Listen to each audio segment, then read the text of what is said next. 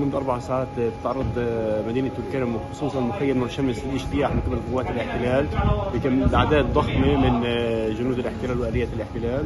قبل قليل قامت طائرة مسيرة بالقصف لمجموعة من المدنيين. إلى حد الآن الصورة غير واضحة لم تصلنا أي إصابة. الحديث يدور عن عدد من الشهداء والإصابات.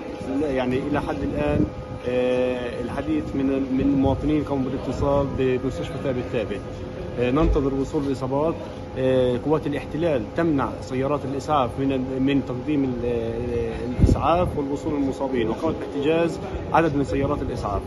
الآن نتأمل إنه يتم التنسيق وتصل الإصابات ونقدم لهم العلاج اللازم إن شاء الله.